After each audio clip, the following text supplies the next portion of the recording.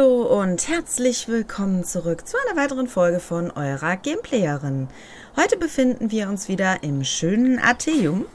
Und zwar, wie ihr schon sehen könnt, ist das hier oben bei der Gilde. Da gehen wir jetzt auch direkt mal rein.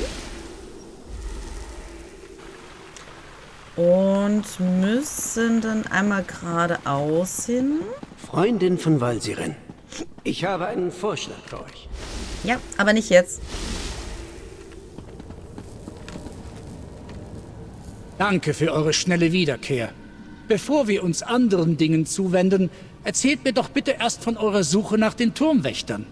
Weil Seren schilderte mir zwar die Ereignisse im Kolleg der Sapiarchen nach ihrer Rückkehr mit Leiten, aber ich würde gerne euren Bericht hören. Einer der Wächter steht unter dem Schutz von Rasundar. Der andere wurde von Mephala erschlagen. Mephala. Verflucht sei ihr Name. Gemeinsam mit Clavicus Wiele und Nocturnal hat sie Leighton korrumpiert und bedroht nun ganz Nirren. Aber die Sapiarchen haben kein paar eingestimmter Schlüsselträger mehr. Das wird den Zugang zum Kristallturm erschweren. Mephala hatte den goldenen Ritter in ihr Reich verschleppt, aber er hat diesen Edelstein fallen gelassen. Dieser goldene Ritter ist einer von Meridias Champions, glaube ich. Anscheinend will uns diese eine dädrische Fürstin helfen. Der Edelstein ist der Dämmerstein aus dem Schwert Dämmerbrecher. Aber warum hat sie den Ritter gefangen genommen? Was führen die Fürsten im Schilde? Aus dem Dämmerbrecher. Wenn ich mich richtig erinnere, dann hat doch der. War das der Aleidenkönig? Einer von denen von der Truppe hat doch den Dämmerbrecher, meine ich zumindest, geführt beim großen Kampf. Ihr meintet, der Zugang zum Kristallturm wäre jetzt erschwert? Hm? Oh ja. Ohne die beiden eingestimmten Turmwächter können die Sapiarchen die Diamantenschlüssel nicht benutzen, um den Weg in den Turm zu öffnen. Der Einstimmungsvorgang braucht in der Regel ein Jahr und einen Tag. Und ich habe keine Ahnung, ob er sich beschleunigen lässt. Ja, wer Meridia ist, glaube ich, brauchen wir jetzt nicht extra zu fragen, weil mit der haben wir ja doch irgendwo eine recht lange Quest in Kalthafen gehabt. Sprechen wir über die Angelegenheit, deretwegen ihr mich gerufen habt. Es geht um meine fehlenden Erinnerungen. Mir ist ein wichtiges Detail wieder eingefallen, das ich euch zeigen muss. Lasst mich euch fürs Erste für eure bisherigen Mühen entlohnen. Ich weiß eure Hilfe bei all dem sehr zu schätzen. Ja, und wir haben ein robustes äh, Oberteil bekommen von Wildheit des Greifen. In eurer Abwesenheit bin ich mit Hilfe von Hellsichtzaubern meine eigenen Erinnerungen durchgegangen, um nach den fehlenden Ereignissen zu suchen, die mir wieder ins Gedächtnis rufen werden, wo ich das Herz des durchschaubaren Gesetzes versteckt habe. Ich glaube, ich bin dabei auf etwas Relevantes gestoßen. Erinnert ihr euch, wo ihr das Herz des durchschaubaren Gesetzes versteckt habt? Nicht genau. Beim magischen Betrachten meiner Erinnerungen konnte ich nur halb geformte Gedanken und zersplitterte Erinnerungen sehen. Ich sah mich selbst in der Traumhöhle unter dem Turm Cepora und ich hielt das Herz des durchschaubaren Gesetzes in den Händen. Erzählt mir alles, woran ihr euch erinnern könnt. Ich öffnete ein Portal, aber ich weiß nicht mehr, wohin es führte. Etwas verbirgt absichtlich das Ziel vor meinem Blick. Ich betrete das Portal und Zeit vergeht. Danach bin ich wieder in der Höhle und das Herz ist weg. Werdet ihr mich in die Traumhöhle begleiten? Ich treffe euch in der Traumhöhle. Die Antwort auf die Frage, wo ich das Herz des durchschaubaren Gesetzes verborgen habe, liegt in der Traumhöhle. Oder genauer gesagt, jenseits des Portals, das ich geöffnet und passiert habe. Doch da wiederum liegt das Problem. Es ist am besten, wenn ich euch das zeige. Trefft mich in der Höhle unter diesem Turm. Erzählt mir mehr über die Traumhöhle. Die Traumhöhle liegt unter dem Turm Cepora, wo die verschiedenen Fäden der Magiker und anderer Energien zusammenlaufen und sich sammeln wie Wasser, das eine Kette herabrinnt. Ausgebildete Psychiker können diese Energie nutzen, um Portale zu anderen Orten im Vergessen zu öffnen. Oder jenseits davon. Ihr habt also ein Portal in ein Reich des Vergessens geöffnet? Vielleicht. Es will mir nicht mehr einfallen. Wenn mein Hellsichtzauber nicht erfolgreich gewesen wäre, könnte ich mir nicht einmal diese recht unbedeutende Erinnerung ins Gedächtnis rufen. Es gibt noch mehr zu erklären, aber mir fehlen einfach die Worte. Ich zeige euch, was ich meine, sobald wir hinunter in die Traumhöhle gehen. Was war das für eine Projektion, die ihr betrachtet habt? Nur das Ergebnis meines Hellsichtzaubers. Er erlaubt mir, Bilder aus meinem Geist heraus zu projizieren, um sie näher untersuchen und Details finden zu können, die mir in der Erinnerung entgangen sind. Ich habe mir diesen speziellen Abschnitt immer wieder angesehen. In ihm bringe ich das Herz in die Höhle. So habt ihr euch daran erinnert, dass ihr die Traumhöhle verwendet habt, um das Herz zu bergen? Wie ich schon erklärte, erlaubt es mir der Hellsichtzauber, mich dabei zu sehen, wie ich das Herz in die Traumhöhle bringe. Ich kann beobachten, wie ich ein Portal öffne und es betrete. Dann flackert das Bild und setzt kurz aus. Danach bin ich wieder in der Höhle, aber das Herz ist weg. Wo ist Valsiren jetzt? Valsiren hat sich geweigert, Leitons Seite zu verlassen. Sie versucht, ihn zu einer Erklärung zu drängen, wie er unseren Orden verraten und sich einem dädrischen Fürsten verschreiben konnte.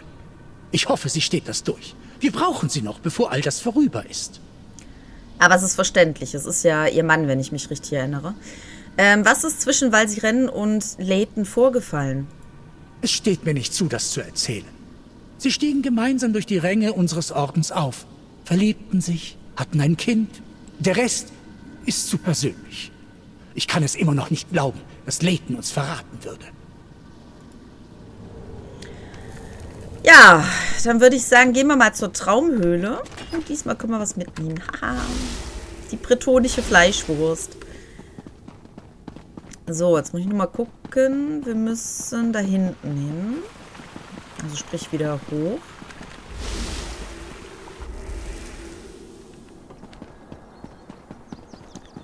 Und einmal hier komplett runter.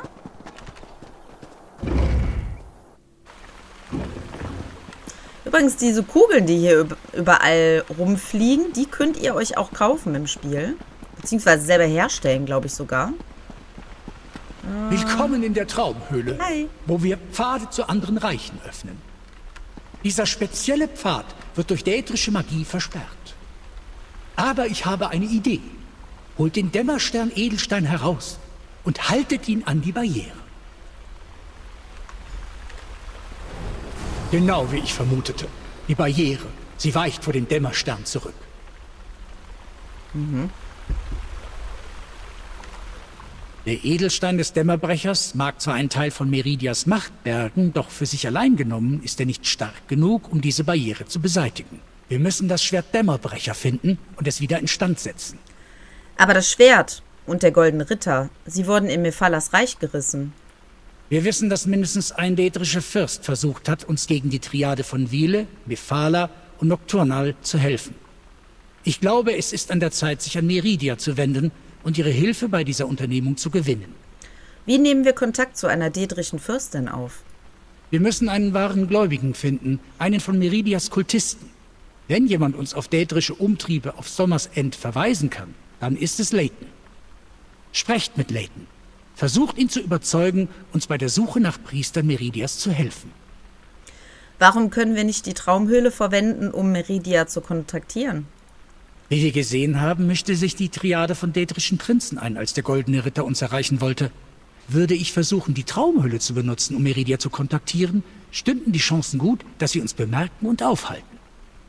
Wir dürfen noch nicht offenbaren, welche Karten wir auf der Hand haben.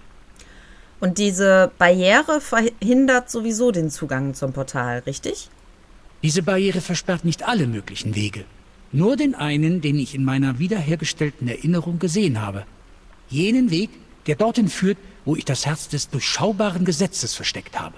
Wenn Ketoras Magie weiter verblasst, hoffe ich, dass meine Erinnerungen im Lauf der Zeit wieder zurückkehren.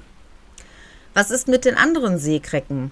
Kann die Kluftkabale Ktoras Magie irgendwie ersetzen? Ich glaube nicht. Jedes Mitglied der Kabale hat ein einzigartiges Talent. Ketora war für die Geistesmagie verantwortlich. Als ihr ihn getötet habt, ging diese Magie der Kabale verloren. Nein, jetzt müssen wir uns mit der Triade von dätrischen Fürsten auseinandersetzen. Wo kann ich Leighton finden? So wie ihr darauf eingestimmt wurdet, Arteum betreten und verlassen zu können, haben wir die gleiche Magie verwendet, um Leighton an der Flucht von der Insel zu hindern. Er kann sich frei bewegen, aber er kann die Insel nicht verlassen. Ich glaube, er ist draußen und spricht mit Valsiren. Glaubt ihr wirklich, dass Leighton uns helfen wird? Leighton war ein guter Mann. Ich muss einfach glauben, dass er das immer noch ist, auch wenn er Mephala und dem Hof des Aufruhrs die Treue geschworen hat. Außerdem müssen wir Kontakt zu Meridia aufnehmen.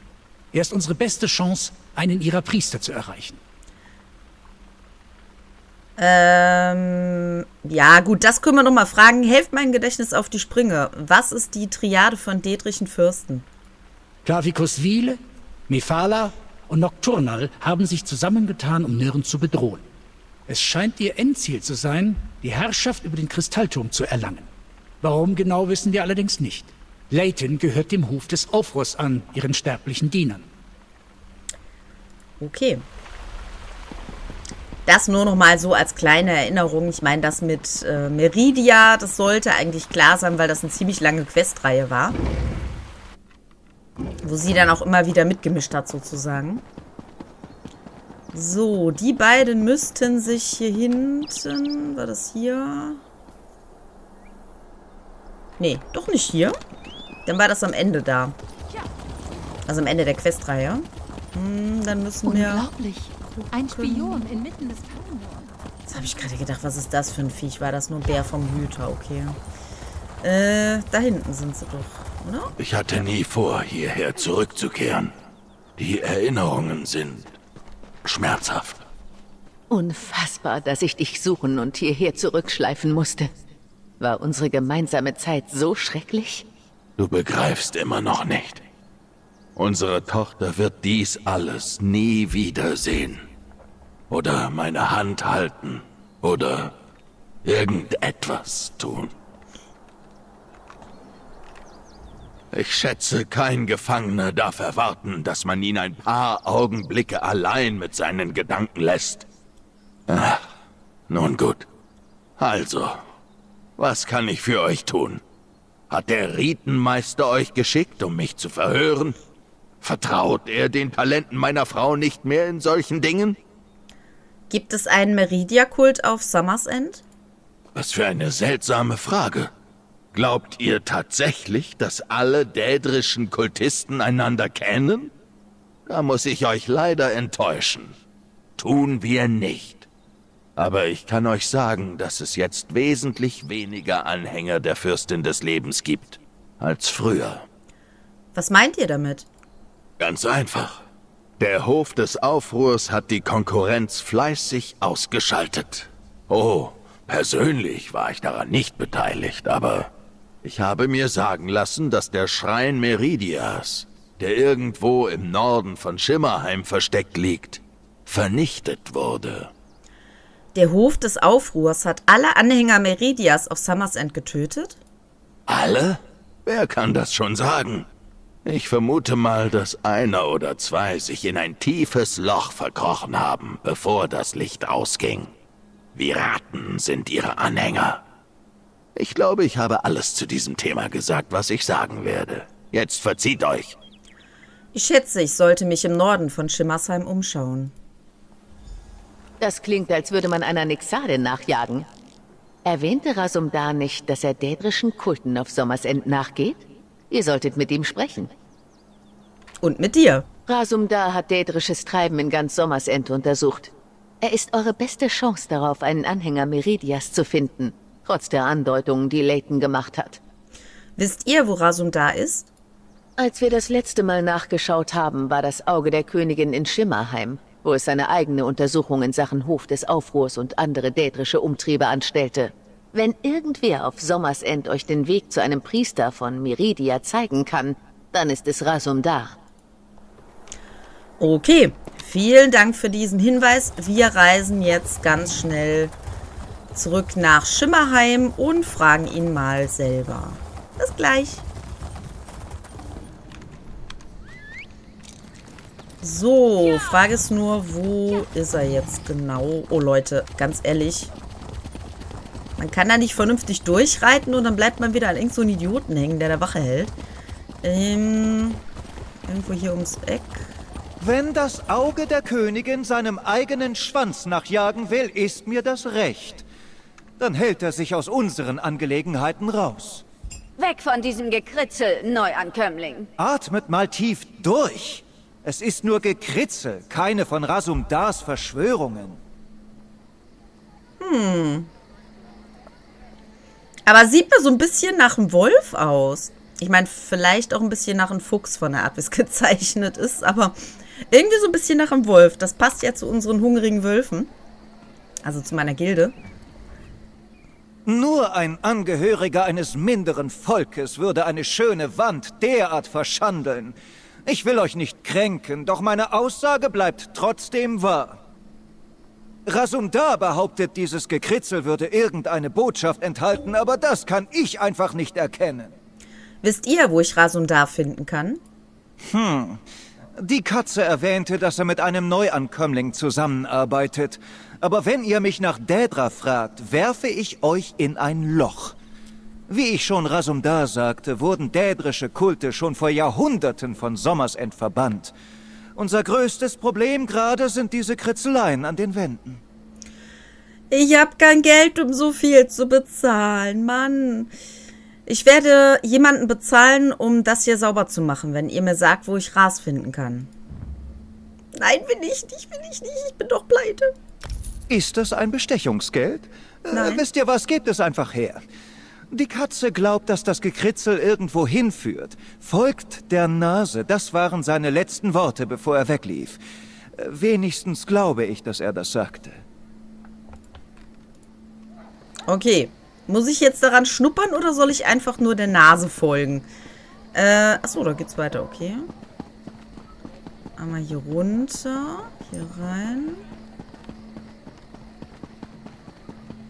Dann hier. Ist ja überhaupt nicht auffällig, ne? Mal direkt zwei Köpfe.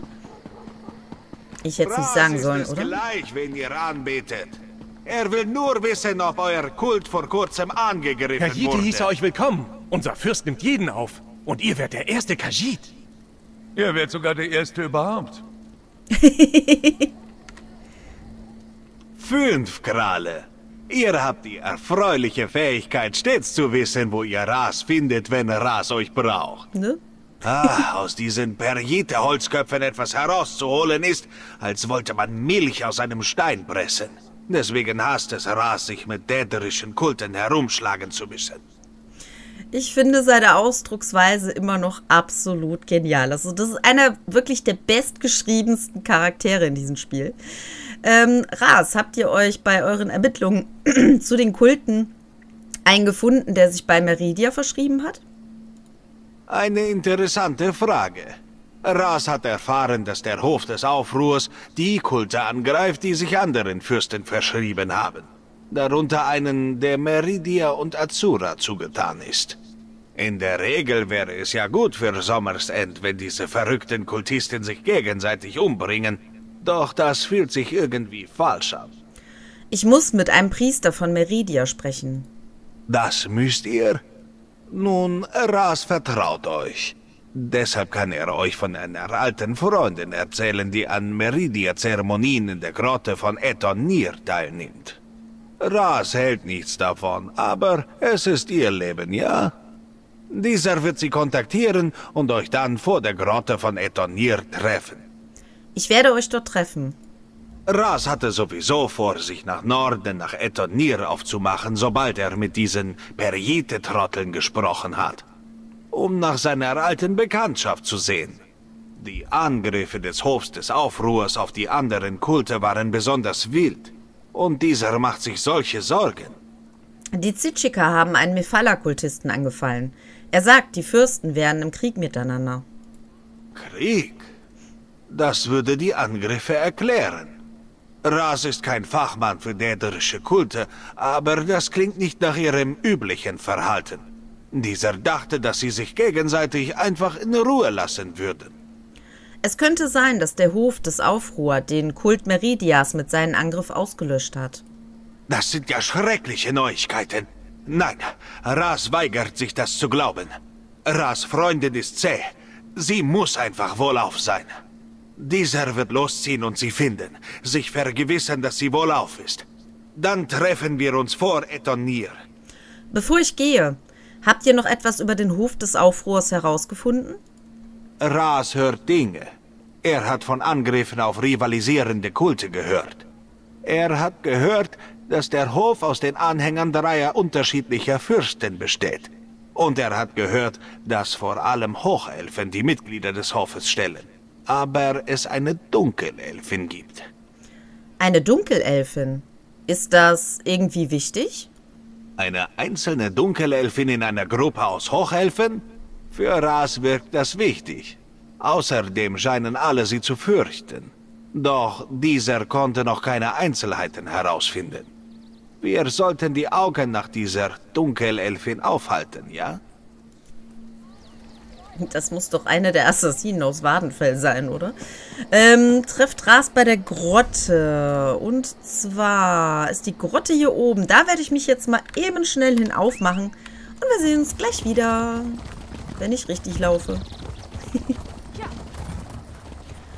so, wir sind gleich da. Jetzt müssen wir nur noch die Grotte hier drin finden. Die war irgendwo hier am Rand, soweit ich mich erinnern kann. Hier drüben fünf Grad. Das ist Ras alte Freundin Sadar Do. Sie ist eine Anhängerin Meridias, aber nehmt es ihr nicht übel. Nö, warum? Ich habe ja schon mit ihr zusammengearbeitet, sehr erfolgreich übrigens. Wir haben unsere Seele, also meine Seele, wiederbekommen. Möge Meridias Licht auf euch scheinen. Ras meinte, ihr müsstet Kontakt zu meiner Fürstin aufnehmen. Angesichts der jüngsten Attacken muss ich euch allerdings zunächst fragen, worin euer Interesse an Meridia begründet liegt.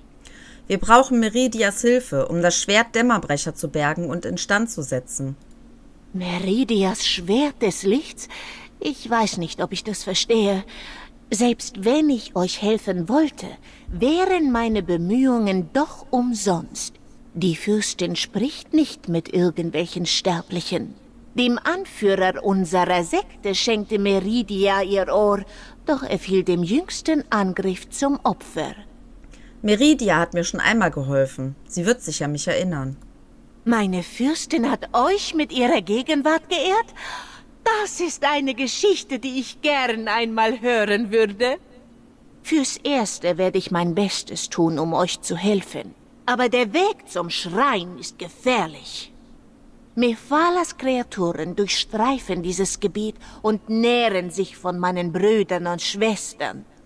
Sagt mir, wie ich den Schrein erreichen kann. Betretet die Grotte und sucht nach unserem Lager. Meridias Schrein ragt über allem dort auf. Ras wird mich begleiten und wir betreten die Grotte durch den Seitentunnel. Ich will nicht, dass ihr euch um mich sorgen müsst, während ihr euch gegen diese Kreaturen verteidigt. Hallo? Warum kann ich denn nicht auch durch den Seitentunnel gehen? Das wäre doch viel einfacher. Na gut, wir treffen uns an Meridias Schrein. Ras hält das für eine schlechte Idee, Sadara. Ne? Diese will helfen, Ras. Vielleicht ließ Meridia diese genau deshalb entkommen, als der Rest der Sekte dieser angegriffen wurde. Ich halte das auch für eine schlechte Idee, Leute. Ich wusste, ich hätte sie da nicht reingehen lassen sollen. Ich Narr. Das ist gemein. Ich wollte jetzt eigentlich keine Quest annehmen. Ah, können wir die vielleicht nebenbei noch machen? Mal gucken. Die Diebesgilde schickt euch? An eurer Stelle würde ich da nicht noch tiefer reingehen. Die Finsternis kriecht an den Wänden von Etonir entlang. Das Einzige, was ihr dort finden werdet, ist ein hässlicher Tod. Das und die Leiche meines ehemaligen Lehrlings, aller Wahrscheinlichkeit nach. Ja, ich, ich bin mir nicht sicher, aber ich meine, das wird noch was länger dauern mit der Quest. Ich lasse die erstmal hier. Wir werden die dann später mal machen. Also wir werden auf jeden Fall alles durchquesten. Das verspreche ich euch auf jeden Fall.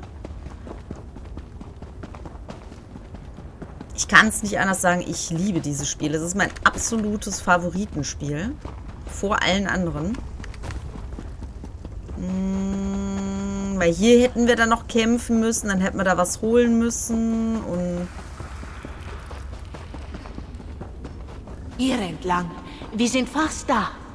Ras mag keine däderischen Kultisten. Aber niemand hat verdient, so zu sterben. Der Hof des Aufruhrs sind Feiglinge. Sie streckten uns ohne Watt.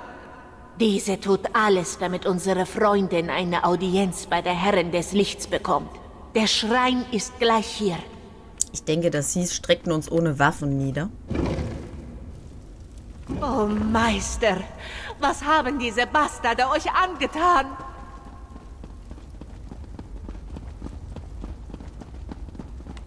Seht, was sie mit ihm gemacht haben. Sie haben den Schrein geschändet. Dieses Licht, es ist nicht natürlich, ja? Meridia, sie ruft nach uns. Meine treue Priesterin, ein tapferer Soldat und ein mutiger Aufrührer. Tretet näher und badet in Meridias Licht.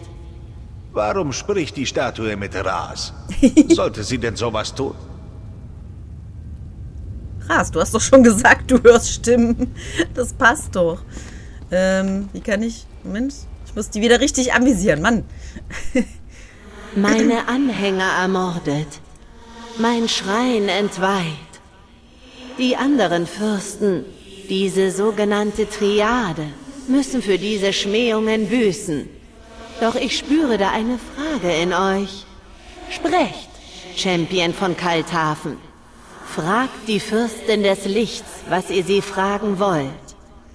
Euer goldener Ritter wurde gefangen genommen und sein Schwert ist beschädigt.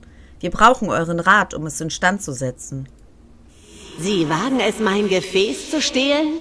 Jenen Helfer einzusperren, den ich entsandt hatte, um ihren abscheulichen Plan zu durchkreuzen? Mein Licht wird nicht verlöschen. Farbenspiel wird niemals eingenommen werden. Ihr müsst Darien Gauthier befreien. Darien? Das ist der Name des goldenen Ritters? Darien Gautier aus Kalthafen? Ja, also wir wissen, dass er aus Kalthafen ist. Dann hat er dieses Schwert geführt wahrscheinlich damals. Ich bin mir nicht sicher. Mein Gefäß hält sich selbst für Darien Gautier, einen einfachen bretonischen Krieger. Aber in Wahrheit ist es nur mein Wille und meine Kraft. Wenn eine Finsternis in eure Wirklichkeit eindringt, entsende ich Darien, um sie zu bannen. Ihr müsst Mephalas Reich betreten und Darien, den goldenen Ritter, retten. Was ist mit Dämmerbrecher? Kann er instand gesetzt werden? Nur mein Gefäß kann den Dämmerbrecher instand setzen. Nutzt den Dämmerstern-Edelstein, um Darien im Spiralstrang zu finden. Nun kehrt zum Ritenmeister zurück und sagt ihm, was ich gesagt habe. Halt! Die Triade wagt es, in mein heiliges Reich einzudringen. Eine solche Beleidigung darf nicht ungesühnt bleiben. Die Triade greift euer Reich an? Meridia, meine Fürstin. Sie ist fort. Diese spürt ihre Anwesenheit nicht mehr. Ras ist sicher, dass es der schönen Statue gut gehen wird. Lasst euch unterdessen von diesem an einen sicheren Ort bringen. Dass es der schönen Statue gut gehen wird. Ras hat schon viele Dinge gesehen. Wehrhaie, fliegende Tiger, Was? Wehrhaie auf fliegenden Tigern. Was? Eine Stimme aus einem Licht. Königin Airen wird das niemals glauben. Wie groß ist denn der Ärger, in dem wir stecken, fünf Kralle? Seid ehrlich zum alten Ras. Sehr groß. Die Dedrische Triade will den Kristallturm und sie greift die anderen Fürsten an. So viel Ehrlichkeit war noch nie gut. Wie bekämpfen wir Dedrische Fürsten? Ras schätzt, eine Armee könnte helfen. Eine Armee hilft immer.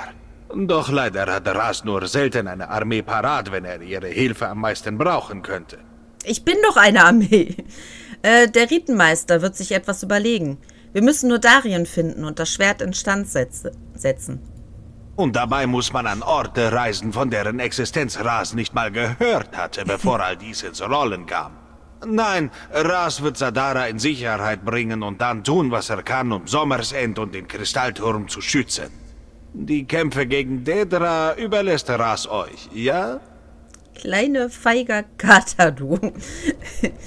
ähm, ja, dann sammeln wir das noch schnell ein. Und, äh, wieso wird mir jetzt die Scherbe hier hinten angezeigt? Die ist aber nicht hier im Raum. Während ich die Scherbe einsammle und wieder zurück nach Arteum reise, müssen wir hier einen kleinen Cut machen und sehen den Rest in der nächsten Folge. Ciao! Vielen Dank für dein Like. Wenn du mehr davon sehen möchtest, dann darfst du mich auch gerne abonnieren.